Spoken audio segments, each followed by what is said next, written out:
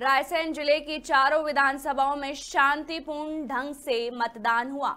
मतदान को लेकर सुबह से ही मतदाताओं में खासा उत्साह देखा गया।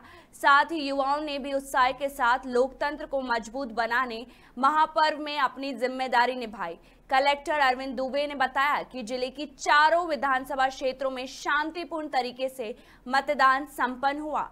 जानकारी के अनुसार ज़िले में मतदान समाप्ति पर 79.93 प्रतिशत मतदान हुआ है, जिसमें 82.11 प्रतिशत पुरुष मतदाताओं 77.54 प्रतिशत महिला और 33.33 प्रतिशत थर्ड जेंडर मतदाताओं ने मतदान किया। उन्होंने कहा, प्रदेश के साथ ही ज़िले में भी पहली बार मतदान में मुख्य रूप से दिव्यांग और 80 वर्ष से अधिक आयु के वरिष्ठ मतदाताओं के लिए विशेष सुविधाएँ प्रदान की गई। इन मतदाताओं को घर से मतदान करने की सुविधा उपलब्ध कराई गई थी।